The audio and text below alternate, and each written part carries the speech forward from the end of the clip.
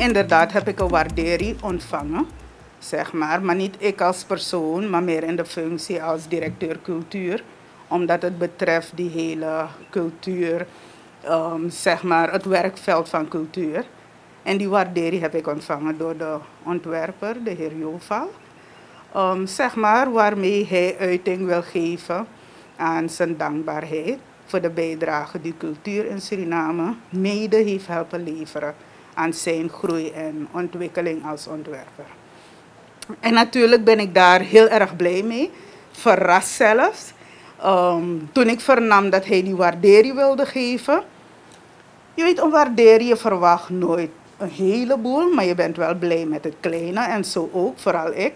Ik dacht het zal een klein gebaar zijn, een dankjewel, uh, misschien een certificaat. Uh, en daar zou ik natuurlijk heel gelukkig mee zijn geweest. Maar wanneer je vandaag merkt dat het een stuk groter en uitgebreider is dan dat, dan zeg ik toch wel dat meneer Joval heel duidelijk blijk heeft willen geven aan wat uh, in elk geval cultuur voor hem heeft betekend. En dat cultuur behouden moet blijven in Suriname. Zijn bijdrage, de bijdrage van de heer Joval internationaal en met name Nederland, betekent voor ons dat hij Suriname op kaart heeft gezet, nog eens een keer. En daarbij heeft hij in elk geval een van zijn ontwerpen, of twee dacht ik, um, die staan in het Tropenmuseum Nederland. En het gaat om kotos. Heel mooie ontwerpen, heel mooie kotos.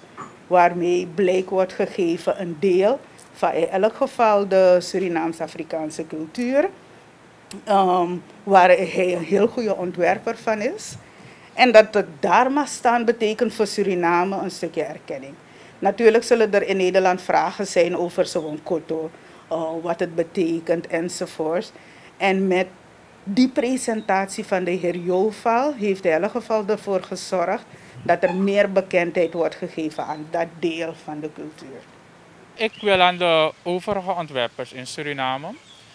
Um, allereerst wil ik zeggen, geloof blijven hebben in jezelf. En voor je doelen gaan. Gewoon voor je doelen gaan. Het is, er zijn heel wat hobbels op de weg. Dat is er sowieso, maar dat hebben we allemaal. Maar dat moet je gewoon sterker maken. Maar zolang je ervoor staat dat je je doel wil bereiken, no matter what, je doelen gewoon naleven en gewoon ervoor gaan. Het is uitsluitend dat ik dus ontwerp. Ik heb dus in mijn ontwerp, ontwerpproces is het dat ik gewoon een intake heb met de klant. Omdat ik ook vind dat ieder uniek is. Je kan iets zien bij iemand dat ik heb ontworpen, maar het komt nooit hetzelfde. Omdat ik vind van je moet je eigen identiteit hebben, je moet uniek zijn. En het kan erop lijken, maar het is niet hetzelfde als van de anderen.